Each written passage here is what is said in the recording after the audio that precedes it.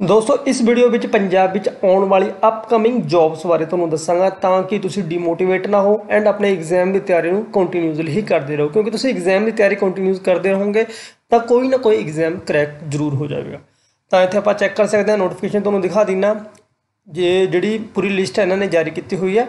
ਜਿਹੜੀ upcoming jobs ਨੇ, ਤਾਂ ਪੰਜਾਬੀ ਵਿੱਚ ਆਪਾਂ ਕਰ ਲੈਨੇ ਦੇਖੋ ਗਰੁੱਪ ਸੀ ਦੀਆਂ ਪੋਸਟ ਗਰੁੱਪ ਬੀ ਦੀਆਂ ਪੋਸਟਾਂ ਨੇ ਸੀਨੀਅਰ ਸਹਾਇਕ ਦੇ ਲੀਗਲ ਸਹਾਇਕ ਦੀਆਂ 12 ਤੇ 2 14 ਪੋਸਟਾਂ ਨੇ ਤੇ ਪੀਪੀਐਸਸੀ ਇਸ ਐਗਜ਼ਾਮ ਨੂੰ ਕੰਡਕਟ ਕਰਵਾਵੇਗੀ।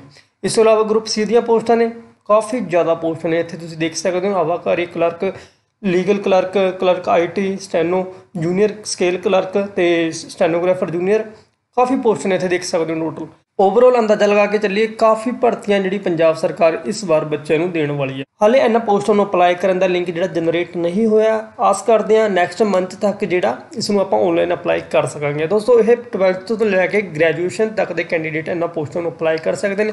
ਤਾਂ ਕਰਕੇ ਜੋ ਵੀ ਐਗਜ਼ਾਮ ਦੀ ਤਿਆਰੀ ਕਰ ਰਹੇ ਹੋ, ਤੁਸੀਂ ਕੰਟੀਨਿਊਸ ਰੱਖੋ ਐਂਡ ਚੈਨਲ ਨੂੰ ਸਬਸਕ੍ਰਾਈਬ ਕਰਕੇ ਵੀਡੀਓ ਨੂੰ ਲਾਈਕ ਕਰਕੇ। ਜੋ ਵੀ ਵੀਡੀਓ ਤੁਹਾਨੂੰ ਸਾਡੇ ਚੈਨਲ ਤੇ ਪ੍ਰੋਵਾਈਡ ਕਰਵਾਈ ਜਾਂਦੀ ਹੈ ਐਗਜ਼ਾਮ ਦੇ ਪੁਆਇੰਟ ਆਫ View ਨਾਲ ਕਾਫੀ ਇੰਪੋਰਟੈਂਟ ਹੁੰਦੀ ਹੈ ਉਹਨਾਂ ਵੀਡੀਓਜ਼ ਨੂੰ ਵੀ ਜਰੂਰ ਦੇਖ ਲਿਆ ਕਰੋ।